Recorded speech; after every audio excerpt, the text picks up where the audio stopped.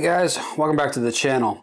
Today we're going to build another battery project, but this time, unlike some of the others, we actually have a real use for this. Most of the batteries I've made are just general use, powering inverters, whatever. This one, obviously as you can tell, is kind of like an e-bike battery. Got this from wish.com. This one's a 48 volt, uh, but I actually also bought a 36 volt or a 10S.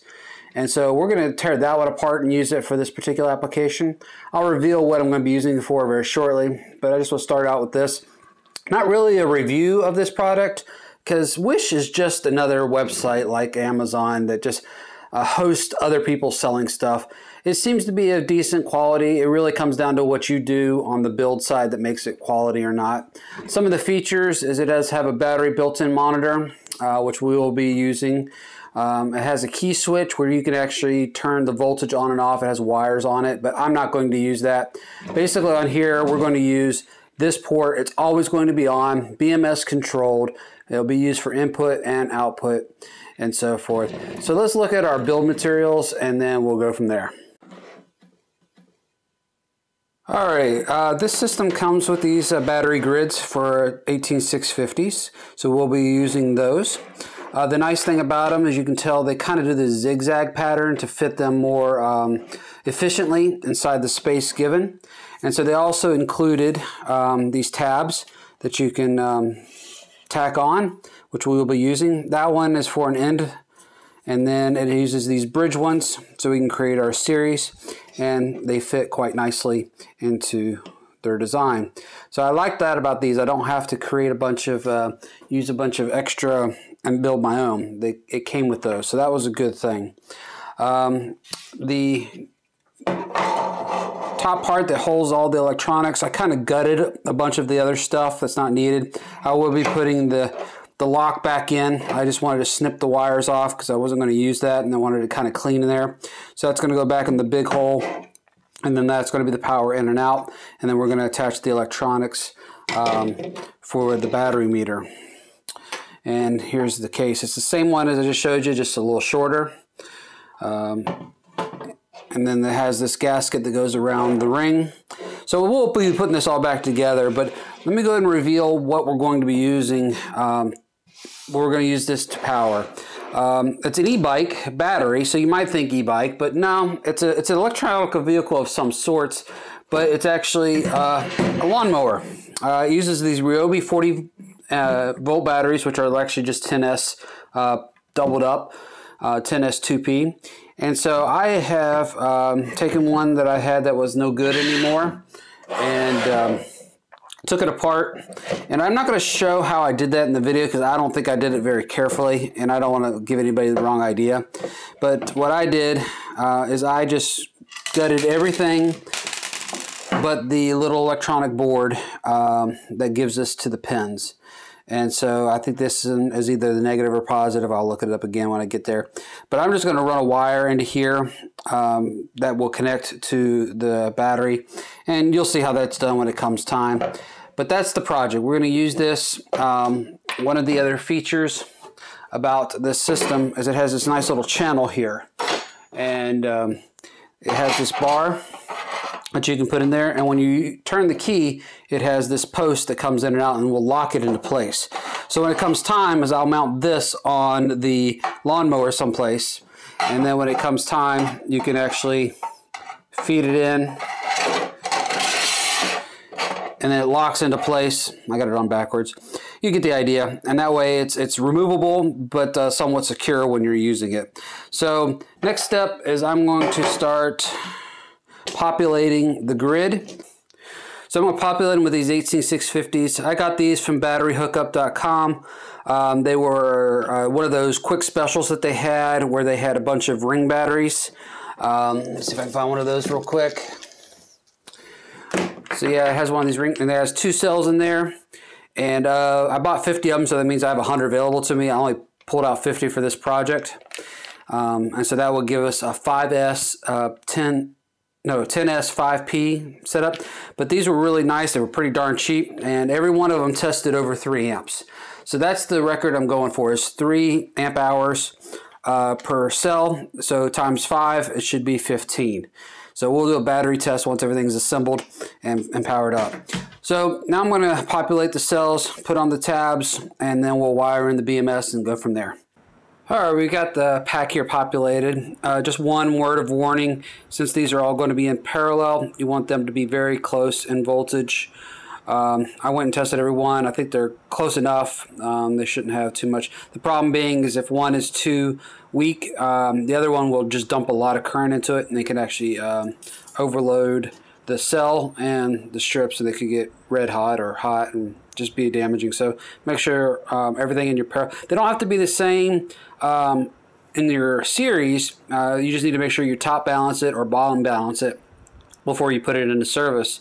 But, um, you know, I would suggest putting your BMS on and just monitor it and let it uh, auto balance um, until it's all good and then you can charge it or discharge it however you want to start. This uh, pack is obviously designed for like 13S, so I've got plenty of space. I put the BMS in here, so it's nice and um, clean inside the tube. So next thing is to start adding the tabs, and then we'll wire up the BMS. All right, we got one side done here. Um, I made sure to tape as I went along.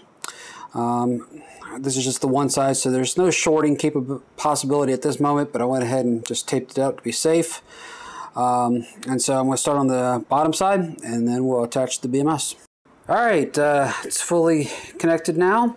Uh, I've checked the voltage, all the series look good, hoping all my welds are hold. Um, find out when I do a charge if any of them are loose. Obviously the smallest cell will set off the BMS so I'll know. So I should get at least 15 amp hours, if not more, um, depending on how quickly I charge stuff like that. So what I'm going to do now is I'm going to attach the BMS on top here. I should have plenty of clearance in my case uh, for that to fit right there. And so the trace wires will go back here and then they'll go to these tabs and then we'll solder them, tape them, and then we'll be one step closer to a completed build. And then I'll be getting it into the case and wiring all that up. So stay tuned. All right, pack is fully assembled. We've got our lead wires attached. We've got uh, the traces to the BMS. BMS is mounted. And we've insulated our tabs here with some Kapton tape. And so we're ready to shortly put it into its case. But one last thing I want to figure out is which one of these poles is going to be positive or negative. And the way we're going to do that is I'm going to take apart a cable that has the uh, male part here and then you know check the other side. And I'm not sure with the color. I'm sure there's like white in there. So we'll figure out which color we want to make red, which one we make ground, and then we'll decide which one of these poles will be that. Um, because this is a custom project, we can do whatever we want, but I want the colors to help match up so we don't make any accidental shorts. So we're going to take that cable apart and, uh, and then we'll decide where to put this and then we'll start putting it in its case. Alright, after doing a little bit of test with the multimeter, um, I found that the brown wire is the bottom left and that blue wire is the bottom right. And so that will be the two prongs I'll use. I'll use the left side for ground and use the right side for positive using dark and a light color. And so that will be how we'll wire things up. So the next thing is I'm going to put some posts on my BMS lead wires and then we'll put it into the, uh, the case and then we'll go from there. All right, we've got everything pretty much buttoned up. Um, last thing to do is to attach the power here. I've soldered these wires which go up to this uh, battery meter. So we'll be able to do a quick battery check on the voltage and available. And so we've got our heat shrinked terminal plugs. And so I'm going to button this up and then all that's left is to modify the wire and mount onto the battery and then give it a test. So let's do that now. All right, we've got the battery pack totally built out. Uh, we plugged up a couple of these extra holes. There was a fuse here and an auxiliary charging port, which I'm not going to use. So now we're going to go to the battery. Here it is. I already showed you this earlier. Uh, I didn't show you what I did because it was probably pretty dangerous. Uh, my suggestion, if you need to get this circuit board, is to totally kill the battery. That means get inside and actually discharge the cells to zero voltage and then I just took a Dremel and just cut this part because that's what I need. It has the pins. So what I'm going to do is this is the positive, this is the ground. So I'm just going to take a long bit of the wire and just hit both of these solder points so I get as much uh, current uh, capability as possible. And then I'm going to uh, put the hole for the cord right there so that this part can come off completely without me having to worry about anything. So there's going to be a hole here. I'm going to run the wires through these um, four points. So we're going to bridge here for positive, bridge here for ground. And um, then we'll be able to um, give it a test drive. So I'm going to work on All right, we got that finished up. We got our wire soldered there.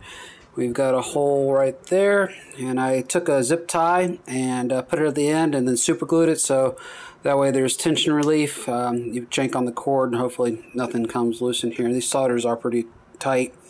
And um, so next thing is to put the cap back on and then the last piece is to mount this to the lawnmower and uh, then give it a try. My grass is pretty tall today and so um, I'm going to give it a go.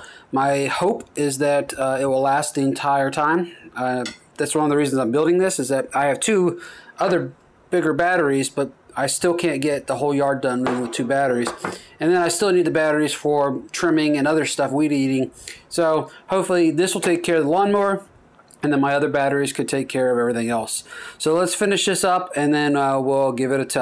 All right, we're getting really close. Um, I grabbed this plastic crossbar from the lawnmower and went ahead and mounted this rail.